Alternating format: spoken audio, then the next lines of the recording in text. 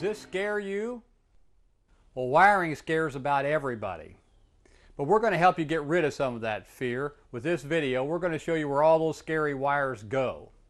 Now, one thing, when you find out that all the different wires have a different color code, each one of them, and that several of them are even the same all the time, like a bright red wire is usually one that's hot all the time, a black wire is one that's hot when the key comes on, the brown wires are ground wires. And all the wires that go to the switches usually have little tracers on it that identify them. Well, what we're going to do here, Wade is going to completely rewire a 63 Beetle show you where every wire goes in that car. And then when he gets done, then I'm going to take you further ahead and we're going to do a 67, a 70, all the way up to 79. Actually, we'll be showing you where all the different wires go and all the changes they made along the years. And so when you get done, your car is going to be covered in this. So pay close attention. We're going to start in the back of this 63 bug. We, as you can see, we've got the engine out the wires that would go to the generator are already disconnected when we took the engine out, the coil wire, and the oil pressure switch wire. The next step is taking the tar boards out of here so we can get to the wires that are behind them. To do this, we just bend back the tabs that are at the edges of the tarboard. And then also there's spikes. There's about 13 spikes that come through the brown wire that run from the front also up through this part of the roof that feed the dome light, but they're separate from the main wire loom. So to replace them with our new wires, we're going to have to attach a rope to them to our old wires before we pull them out. Tape them up good and snug. Them so we can get the wires loose and we're at the point now that I'm going to enlist some help. My dad's offered to to help with this and guiding the wires through the back as I pull the wires in the main wire harness out. We don't want to pull on the small red wire or the brown wire at this point. Just the rest of the wires. Okay.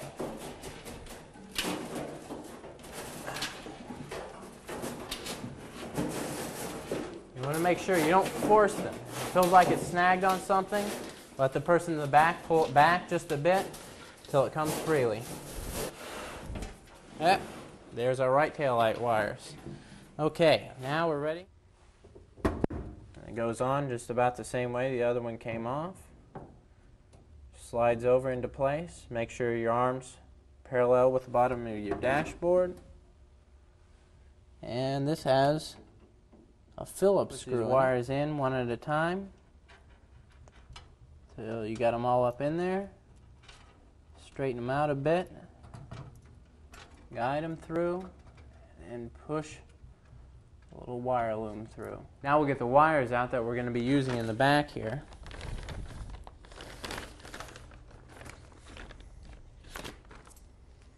There we go. The first wire we're going to be putting on is this thick red wire with a black insulation. This is the one that runs between the starter and the voltage regulator, which is on top of our generator on this car. It's got a small eyelet on one end, which is what goes to the voltage regulator. the back of the solenoid on the starter, and the same post that has our battery cable. It's held on by a 13 millimeter nut and a washer.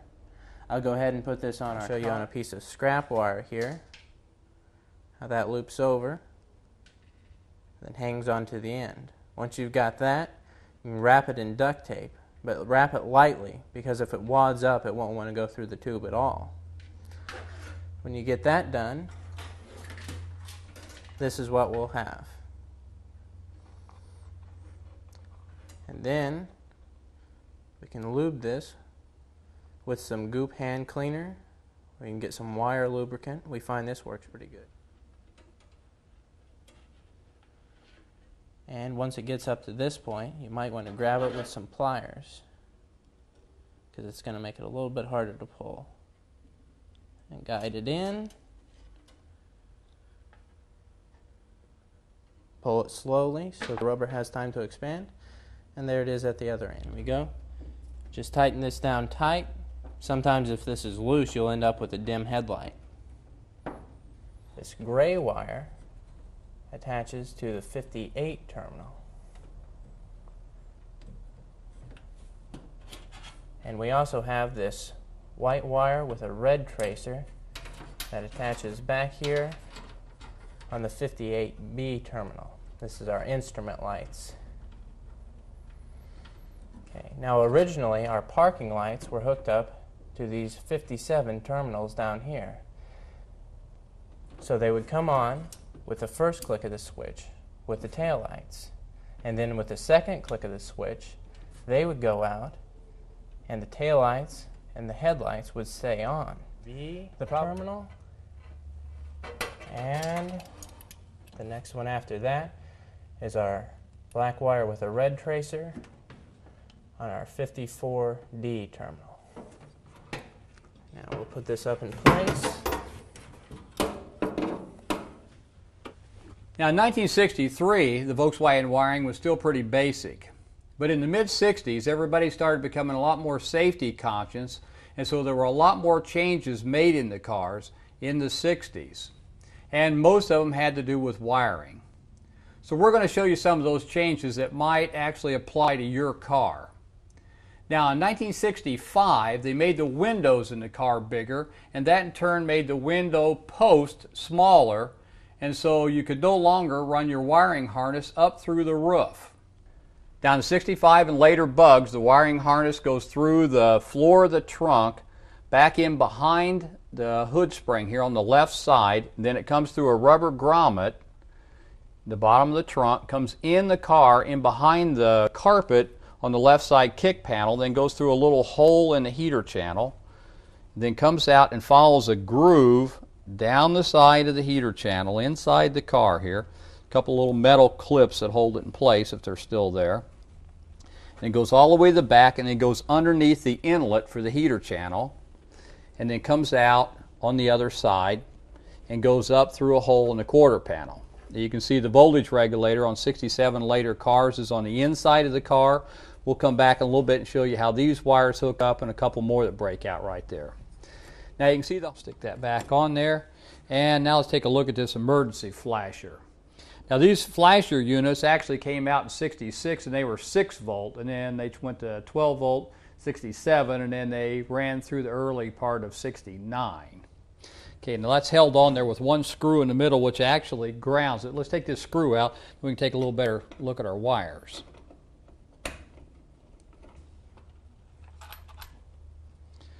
Okay, now I think you can see that there. I don't know if you can see these numbers on here or not, but all the numbers and letters for these wires are on the side of the case here. And if we turn this over here, we'll just run down through them. Now, starting with here, this the brown wire is a minus S on the number here. It's on the, the top and the side over here. And then the black and white wire is our left turn signal. That's a VL is what the marking for it is. And then the green and black one here is our right turn signal. Remember that. That's VR. And then down below screw here, that holds the end of the cable that opens the trunk that's attached to the lever inside the glove box. So that screw has to come out of there so the cable's free to move back when you pull the dashboard back. Now we already have our speedometer cable undone and so from that point and you might have to push the vents down. They clip in the, the back edge there by the windshield. You might be able to have to push those through a little bit. Then you should be able to grab a hold of the dashboard and just pull it straight back. The whole dashboard should pull right back and lean right back out towards you there. Now with the dashboard out of the car, when we take a look at the back of it here and all these wires are together, it can look pretty scary. But actually all these wires right here, this mess of wires here, is just a continuation of the wires we were just looking at on the fuse block earlier. And what I'm going to do is come around and we'll just start going through the wires on the different ends of the loom that come into this. We'll start identifying the wires. And you'll see this is not nearly as mysterious as it looks. And all those things pretty much remain the same. One thing I need to show you though on 74, if you happen to have a 74, you may have this uh, special buzzer and relay combination that they put on them. And this thing had about 14 connections across the bottom of it here. And in this particular year, you had to be sitting in your seat, have your seatbelt button, the car neutral, and brake off and everything else, or the car would not start. And of course, when this thing went bad, your car wouldn't start, or any of the switches in your seats or whatever went bad, your car wouldn't start. Most of these things have been done away with. Yours might still be on your car. Even if it is, you're probably going to want to take it off. And all the other wires, except for the two starter wires, don't really have anything to do with the running of the car. But you have the two big wires that come from your starter. On the standard Beetle, they were red and red with a black tracer like we would expect for a starter wire. On the Super Beetle, one of them actually was a white wire with a red tracer. But anyway, these are the two wires that you're concerned about. On this one, there are terminals 14 and 16. And what you want to do is make yourself a little jumper like this that has two spade connectors on it out of a heavy uh, gauge wire and then you just want to jump that connection there where that's where that's at here. And that, see if I get them in the right spot here. Yeah, there we go. That connects those two wires together and then you're good to go from that point on. You won't have to worry about all those connections. That should pretty much take care of all of your wiring uh, from the old ones right up to the new ones as far as where all your wires go. So join us now in our next video and we'll show you what to do when you start having problems with your wirings, how to troubleshoot, how to check out your charging and starting system. See you then.